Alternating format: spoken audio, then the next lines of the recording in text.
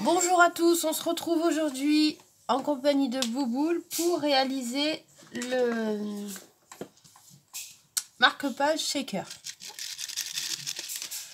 Donc, pour le faire, vous allez avoir besoin bah, de la plastifieuse, d'une pochette plastique, deux pochettes qu'on achète là chez Action ou alors euh, des pochettes, euh, vous pouvez utiliser euh, les emballages de, de vos tampons, enfin des choses comme ça, mais il faut juste une pochette transparente. moi je vais prendre de la laine que j'ai là pour faire le ruban. Donc j'ai de la laine, j'ai découpé une petite bande de papier et j'ai fait une petite bordure comme ça pour faire la fermeture. J'ai choisi euh, bah, dans ce bloc là, donc le papier et je vais mettre un petit lapin là, un die cut lapin, voilà, après on va décorer avec. Une perforatrice pour faire le trou et voilà, le tour est joué. Donc pour commencer, bah, en fait c'est le même principe que les pochettes pour, le, pour les tampons. Alors je vais enlever le truc là pour que vous y voyez mieux. Parce que le pauvre, il a du vécu. Et... Donc voilà. Alors, tout d'abord, on va commencer par faire... Bon, elle m'énerve à les plier, celle-là. On va commencer par couper le haut, là, qui nous sert à rien.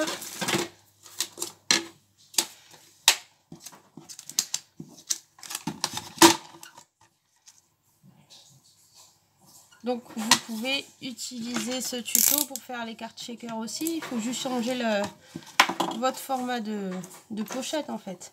Donc là pour le marque-page, je vais prendre 5 cm de large. Donc vous allez voir qu'on peut faire plusieurs marque-pages. On peut faire deux marque-pages avec une pochette. Euh, je sais pas combien elles font celle-là, voyons voir. C'est du 13 je pense. 14. Elles font 14 euh, par 14. Donc avec du 14 par, 14, pardon, on peut faire deux marque-pages. Bon là je vais en faire plusieurs pour vous montrer. Hein. On va pas gaspiller. Hop.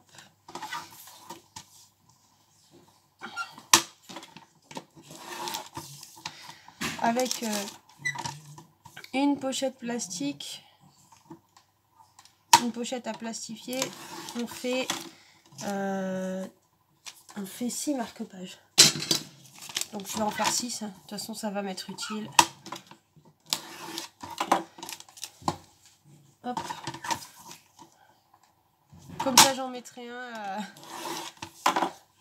à chacune pour les envois de cartes que je dois faire. Ça ne sera pas perdu. Donc voilà. On a découpé nos petites pochettes. Maintenant, on va venir les mettre... Aïe Je. On va venir les mettre dans la pochette là. En laissant entre chaque, euh, chaque pochette transparente, il faut laisser au moins 1 cm pour que après quand on coupe, il y ait à peu près 0,5 de chaque côté du marque-page. Alors.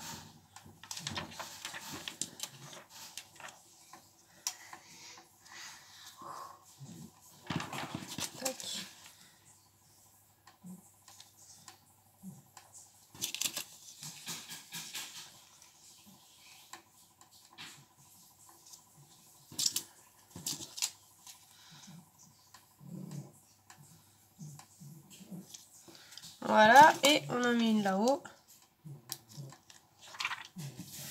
Et voilà, le tour est joué. Je vais passer ma pochette dans la plastifieuse.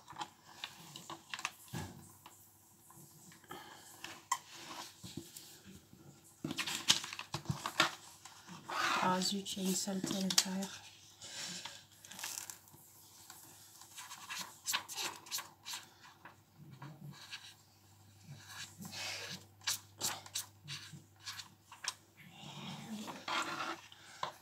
Donc j'en avais déjà deux prêtes. Hop, elles sont là. Vous voyez, après il faut juste couper et on coupe le haut comme pour les pochettes des tampons. Et du coup, ça va nous faire notre pochette comme ça. Voilà. Donc ça marche tout à fait pour les, les shaker cards.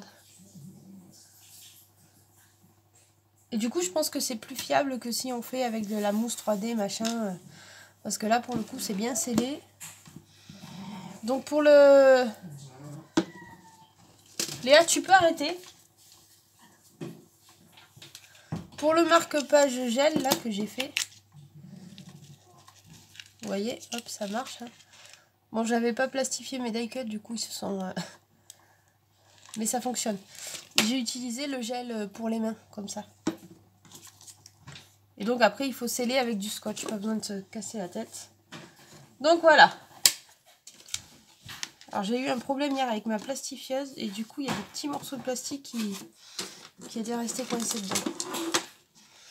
Donc après, du coup, pour pouvoir faire la pochette, vous voyez, on a notre, notre alignement de, de pochette. Ben, il faut couper le haut pour, euh, pour faire l'ouverture, quoi, c'est tout. Donc je vous montre là. Voilà, j'ai coupé le haut. Et du coup, j'ai mes ouvertures qui sont faites. Voilà. Donc je ne vais pas utiliser ceux-là, je vais utiliser ceux qui sont quasiment prêts. J'ai juste à couper le bord. Ça ira plus vite. Voilà. Donc ensuite, vous voyez, j'ai à peu près 0,5 mm de chaque côté de mon marque-page. Je je sais pas si vous voyez, c'est difficile. Si, on y voit quand même. Et donc là, je vais venir positionner mon die cut. Il n'y a pas besoin de le coller, hein. je ne l'ai pas collé moi. Tac. Va au bout. Voilà. Je vais y mettre évidemment des sequins.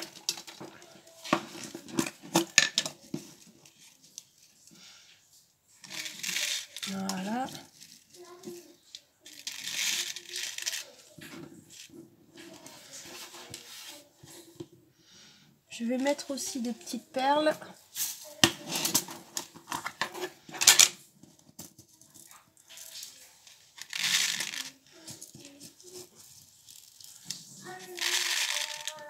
Ah, quoi ça?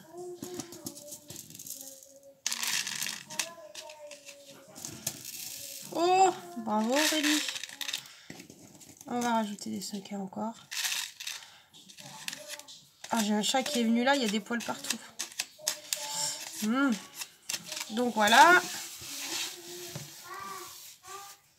Hop. Ensuite, merde. Euh, où c'est que j'ai mis mon papier? Je l'ai mis là, je pense. Non, je ne l'ai pas mis là. il est là. Alors, ce que je vous conseille, là, c'est de mettre un petit coup d'agrafe pour être sûr que ça ne, ça, que les sequins ne partent pas. De toute façon, ce sera caché par la bande de papier. Et là, vous voyez. Tac. Léa Donc là, on plie le papier en deux. Alors, faites attention à ce que ne le collez pas contre. Sinon, quand vous allez faire votre trou, ça va gêner à cause des agrafes. Donc vous laissez un peu plus haut et vous pourrez faire votre trou comme ça tranquillement.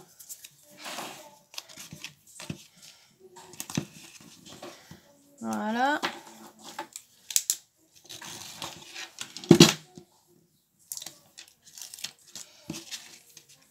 Vous voyez, vous laissez à peu près 1 cm. 1 cm, c'est largement suffisant. Voilà on fait notre trou. Ouais, j'ai pas de perforatrice. Je vais faire un plus gros. À peu près centré. Voilà. Un petit bout de ficelle. Alors.